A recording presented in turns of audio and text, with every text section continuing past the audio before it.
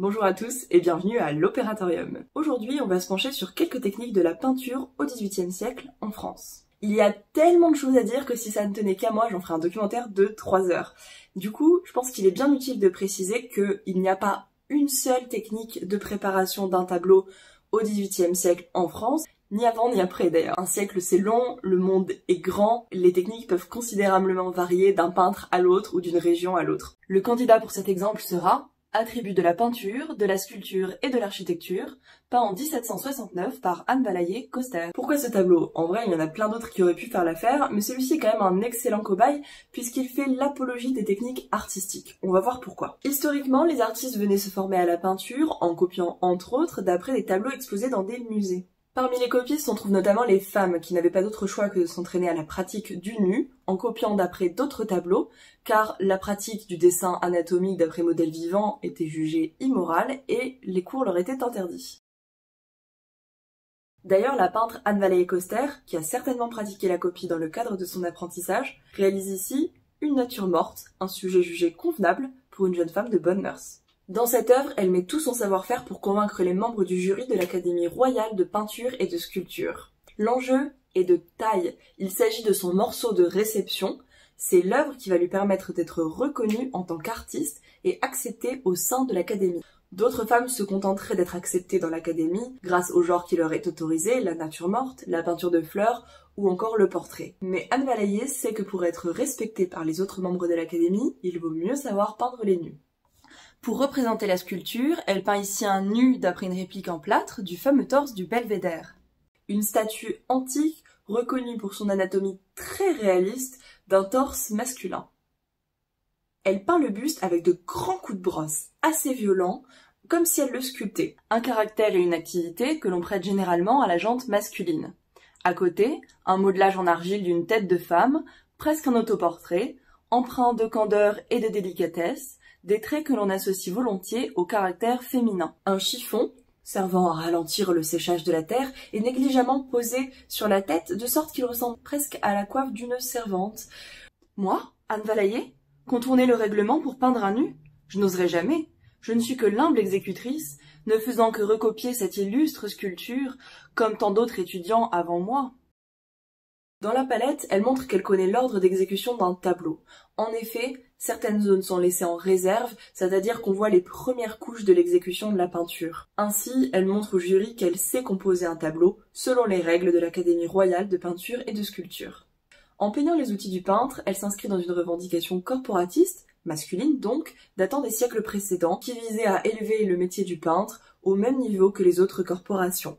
Elle affirme ainsi son appartenance à ce métier en tant que femme peintre. Les outils, le dessin et les livres viennent renforcer sa reconnaissance envers le jury de bien vouloir étudier la candidature d'une simple élève. Elle a 26 ans. Le jury est conquis. Chardin remet en question sa façon de peindre et Diderot fait son apologie. Nul de l'école française n'a atteint la force de coloris de mademoiselle Valaillé, ni son fini sans être tâtonné. Elle conserve pourtant la fraîcheur des tons et la belle harmonie. Quel succès à cet âge et pourquoi faut-il que ses grands talents soient autant de reproches que son âge et son sexe font à notre faiblesse? Aujourd'hui, on a cette image du peintre qui se jette sur sa toile blanche. Repartons au XVIIIe siècle afin de déconstruire cette image, à une époque où les toiles n'étaient pas blanches et où le peintre ne se lançait pas sur sa toile. Nous allons suivre les étapes que la peintre a probablement suivies lors de l'élaboration de ce tableau. On a de la chance parce que dans le cas de ce tableau, on a toutes les analyses produites par le C2REF. On a donc une base d'études et puis à côté de ça, eh bien, euh, on redécoupe avec les traces écrites concernant cette période. Anne Maillet a utilisé un châssis d'assez mauvaise facture. Elle l'a probablement fabriqué ou acheté à peu cher, ce qui laisse supposer qu'elle a tendu elle-même la toile pour limiter les dépenses. La toile en chanvre en lin est décatie, le décatissage, c'est la toute première étape qui consiste à tendre la toile temporairement, à l'ébouillanter et la brosser fortement, puis à la laisser sécher en tension. Produite jusqu'à trois fois avant la tension finale sur le châssis. Il faut voir le décatissage un peu comme un entraînement sportif. Lors de ce travail, la toile va se tendre et se détendre fortement. L'objectif, c'est d'éviter le claquage. À force de l'entraîner, quand elle sera sur son châssis final, elle va être prête à traverser les siècles en réagissant bien à l'humidité naturellement contenue dans l'air. Ce nettoyage, qui est un peu comme un nettoyage intensif, a pour objectif d'enlever toutes ces petites poussières contenues dans la toile afin d'éviter que ces salissures remontent dans la peinture à l'huile. C'est la première étape pour garantir un tableau qui va garder des couleurs fraîches et lumineuses. Une fois qu'on l'a tendu sur le châssis, on passe à la préparation. L'encollage. Ça, c'est de la colle de peau de lapin, provenant du cartilage, la partie élastique qui recouvre l'os. On la fait fondre dans de l'eau chaude, comme la gélatine. En gros, euh, ça ressemble à la sauce de rôti sans les aromates. Cette étape permet de remplir la trame de la toile et est fortement recommandée pour la raison suivante. La peinture à l'huile qui est grasse va imbiber toutes les fibres de la toile, va les faire gonfler, puis elles vont se rigidifier. En fait, on assiste exactement au phénomène de séchage de la peinture à l'huile. On parle d'ailleurs de séchage à tort. L'huile de lin ne sèche pas, elle est cicative. Contrairement à un séchage où une partie liquide s'évapore à la chaleur, l'huile ne s'évapore pas, elle s'oxyde en contact avec l'air, ce qui la fait durcir. Si nos fibres sont imbibées d'huile, elles vont devenir cassantes et fragiliser le tableau. Le recollage permet donc d'isoler cette toile afin que la peinture à l'huile et l'image finale à terme restent parfaitement en surface de cette toile. On est dans un exemple de double préparation. Une double préparation qui est très à la mode au XVIIIe siècle elle consiste, après l'encollage, à appliquer une première induction, la première de la double préparation. Cette préparation, elle est composée de plusieurs ingrédients. On a toujours la colle de peau de lapin avec une charge. Ici, il s'agit d'une craie, du blanc de meudon, qui a la propriété de combler toutes les aspérités. C'est l'équivalent d'un plâtre. On ajoute également un pigment, ici une ocre rouge. Le résultat, c'est une surface qui remplit parfaitement les aspérités, qui commence à composer déjà une surface lisse pour recevoir la peinture. Mais également, elle a une teinte. La teinte rouge n'est pas anodine, on n'a pas choisi le bleu ou le vert, déjà pour d'autres raisons de coût. Les terres sont peu coûteuses, on peut donc remplir toute une surface même si elle fait 3 mètres de long sur 2 mètres de haut. Rouge parce qu'elle va réchauffer ensuite toutes les couleurs de notre tableau. Un autre aspect très important, je vous montrer le son, c'est pas juste pour le plaisir. Alors il y a quand même un plaisir à savoir que cette toile fait du son, même si on n'est pas musicien. C'est une façon de sentir que la matière vit. Si elle résonne, elle va faire résonner votre peinture. Votre image finale aura beaucoup plus de vie. Alors ça paraît un peu abstrait, euh, voire limite ésotérique. Mais c'est pas si absurde. Si vous avez un bloc de métal qui est plein, qui est en bon état, et que vous le frappez avec un marteau, il va faire un son long. Il va résonner. Il chante. Si jamais ce métal est fêlé, quand vous tapez avec le marteau, le son va s'arrêter immédiatement. C'est ce qu'il se passe avec la plupart de nos toiles achetées dans le commerce aujourd'hui qui sont enduites d'une couche à l'acrylique. Exemple, je cache la marque. Ça c'est une toile dans le commerce. Alors bah elle a, le film encore donc ça va la faire résonner par chance pour elle. Mais le son s'arrête. Alors que là, hein,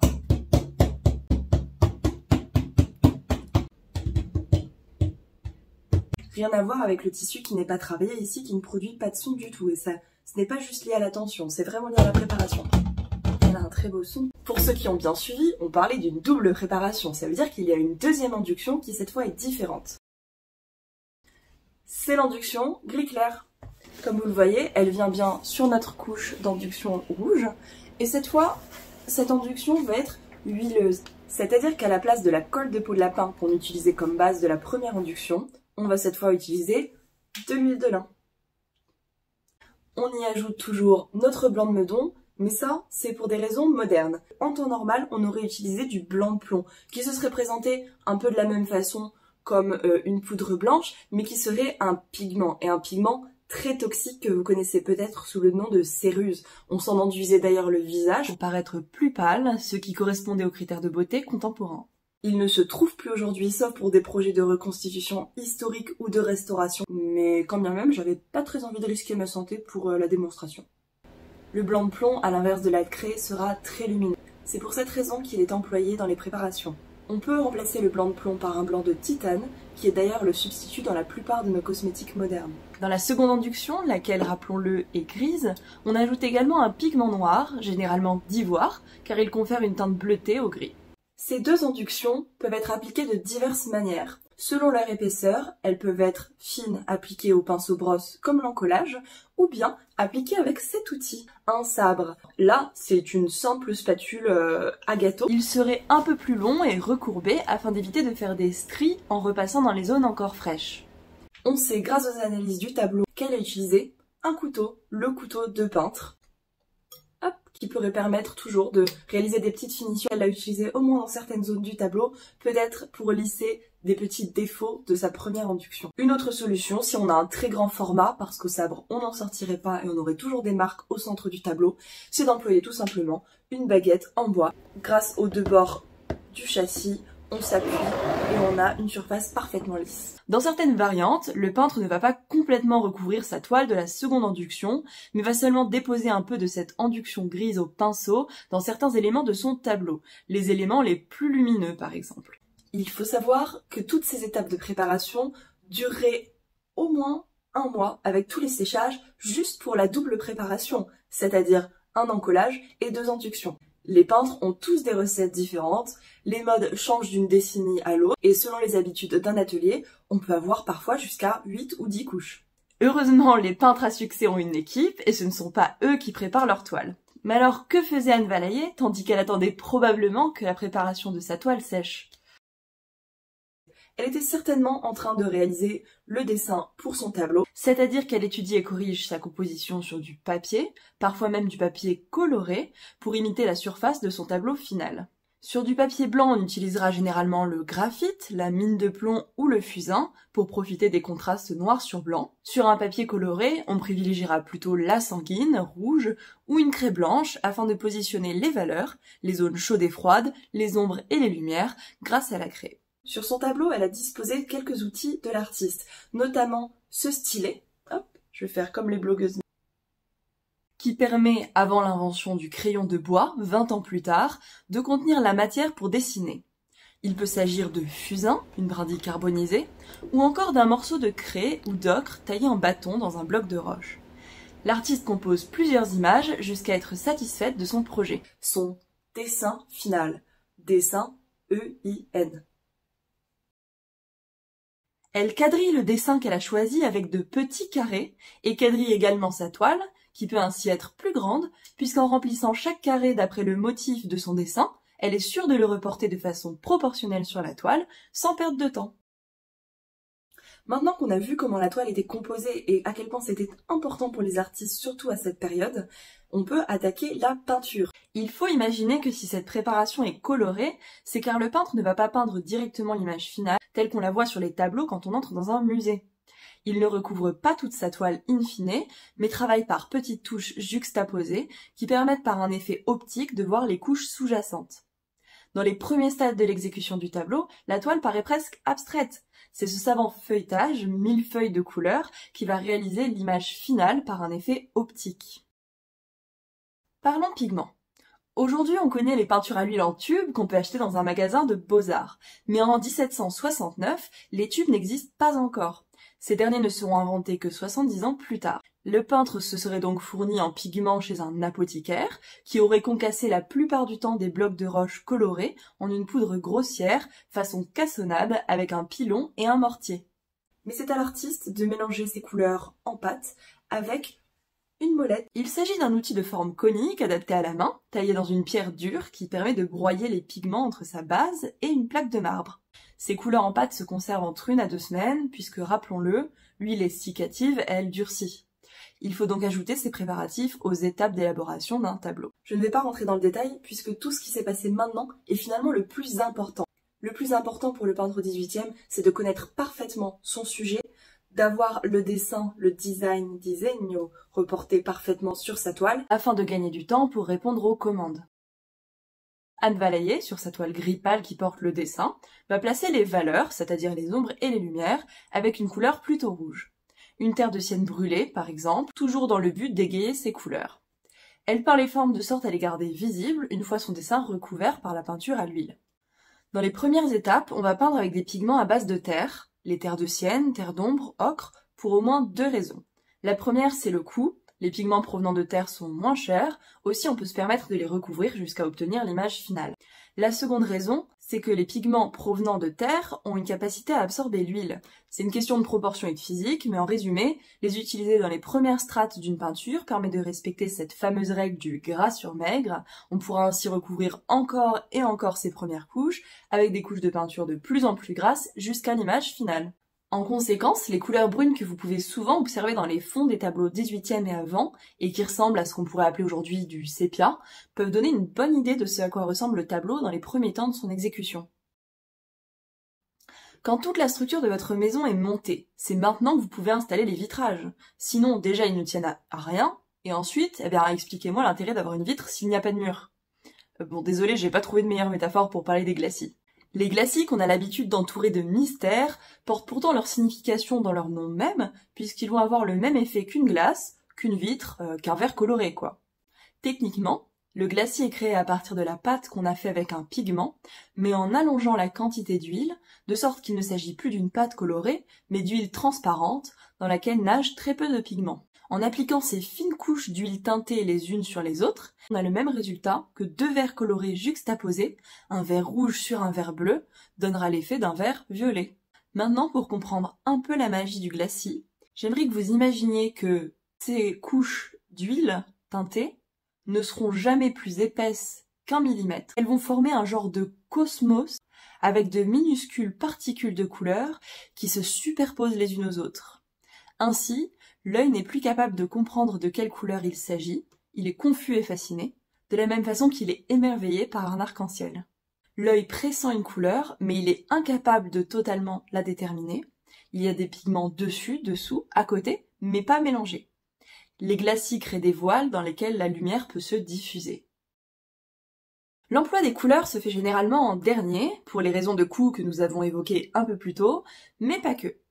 Pour terminer ce tableau, et du coup cette vidéo, nous allons voir comment Anne Valayer fait une utilisation économe de ses couleurs tout en servant son sujet. Ici, il s'agit quand même d'une nature morte. Il ne faut pas que le spectateur s'ennuie, il faut donc donner aux objets inanimés de l'intérêt. Une des solutions pour pallier au sujet, c'est l'usage de la couleur. Par exemple, dans le plâtre, Anne Valayer ajoute au blanc trois terres.